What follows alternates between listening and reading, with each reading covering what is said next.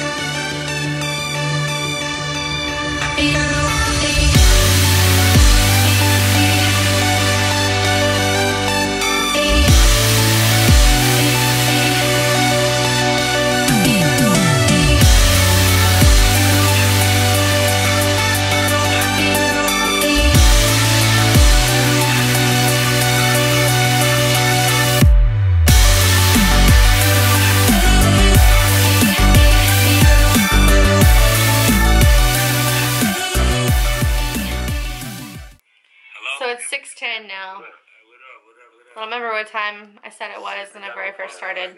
I was like, yeah, this will be a quick tutorial. It's not. It's not quick at all. It'll probably be quick in the video, but doing this took way longer than I expected. But that has to include time to drink because it's New Year's.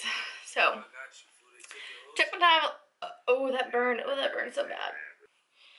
If it were up to me, I would just like be in sweatpants constantly. Well, I kind of am all the time because I gotta work in sweats. I'm gonna go put pants on. I have like I have sweatpants on, but I'm gonna actually dress up. I'm gonna throw on some leggings. Next step up in in dressing nice. Thank you guys for watching. I really hope you enjoyed this video. I'm gonna go jam and go put some clothes on and go to my friend's house for New Year's Eve. So, love you. Bye.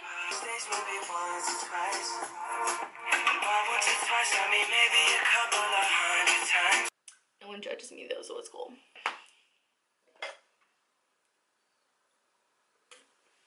That was the worst outro ever.